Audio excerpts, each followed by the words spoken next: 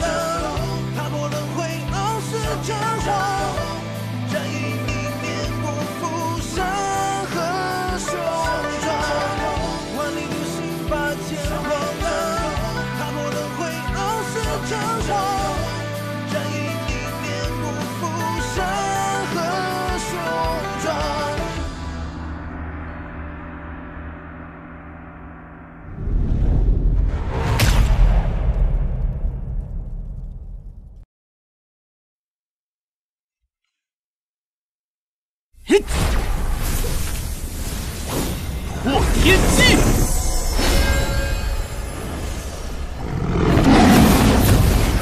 来！不要再做回归大梦了！来！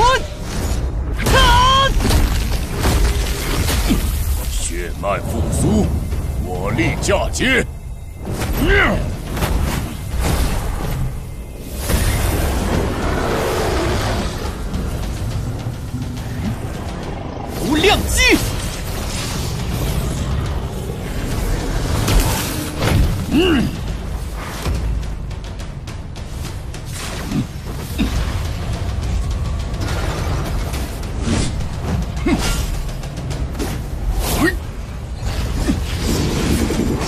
体力，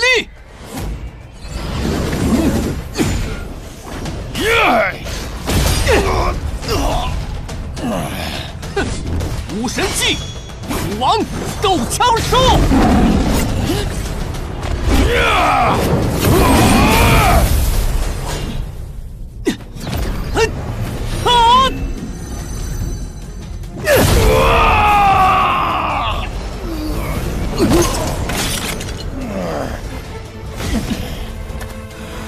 天要亡我吗？哦，黑暗神雷！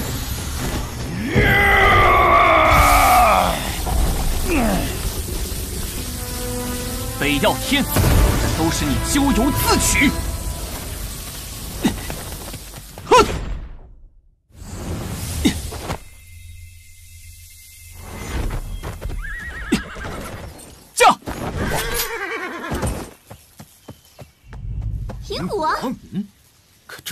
到你了，你们怎么跑这里来了？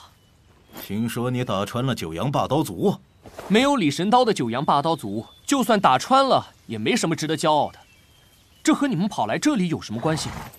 你打穿九阳霸刀族之事传出，我们这些九阳霸刀族的附属种族便想趁势而起，联手攻克神刀城。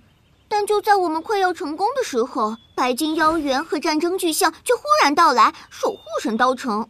白金妖猿太厉害了，我们联手也打不过。可我们实在不甘心就这样错过如此大好机会，于是我们决定分头行动。其他附属种族之人逃往了紫炎城方向，准备联手紫炎族组成种族联盟，一起对抗九阳霸刀族。而我和葬花打探到消息，知道你进了天妖大森林，于是便想来找你合作。九阳霸刀族内讧至此，天妖族状况同样也是糟糕透顶。天下乱了，你们与白金妖猿和战争巨象交手时，有发现什么特别之处吗？特别之处？对，我从九阳霸刀族出来之后，曾遇到过白金妖猿他们。我明明将他们困杀了，他们是怎么脱困的呢？不愧是你。这么说来，他们的确是有些不太正常。他们的额头都有血刀印记，看着很妖异。邪眼妖刀，李修罗，白金妖猿他们。被妖刀印记控制，却要去守护神刀城，这岂非意味着李修罗掌控了邪眼妖刀？李修罗崛起了！妖皇史无前例的动作化形大劫，李修罗成为史上第一个驾驭妖刀之人。还有千年前的十大天才，燕狂人、吞月妖狼王等都将回归，这才是真正的开始，盛世将来啊！你嘟囔什么呢？你看着好年轻，真的就只是黄金学院的学生吗？有问题吗？没问题，就是觉得你太年轻了，年轻的不真实。像你这般强大的年轻人太少见了。是你孤陋寡闻了。李斜阳不年轻吗？妖梧桐不年轻吗？妖无谷不年轻吗？是你们种族的人太封闭了，不愿走出来历练。若我如你们族人那般，我也无法崛起的这么快。每个种族都有自己的一套办法，适合你们的不见得适合我们。呃，不过你崛起的是真的快。对了，藏神境地分开后，你又神化了几个部位？一个还是两个？你先说。侥幸，在黄金神瞳基础上，又有了黄金神骨、黄金神藏，不错呀。不错，就只是不错而已。来来来，咱俩较量较量，我倒要看看你究竟能有多厉害。嘿，啊！居然追来了！验证实力的机会，这不就来了吗？啊！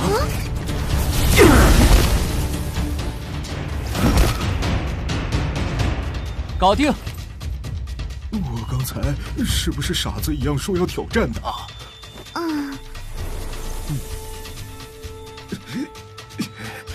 果然是邪眼妖刀的印记。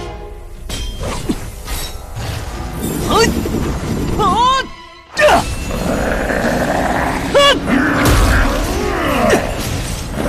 银虎王，好久不见啊，甚是想念。我也很想念你，想念的恨不得撕碎了你。这就不用了，你还是考虑考虑你这兄弟咋办吧。人族银虎王是要用这等下三滥的手段威胁我吗？上次。你无耻的纠集战争巨象和银狮联手追杀我之事，你是忘了吗？你要怎样？我给你机会说，你想要我怎样？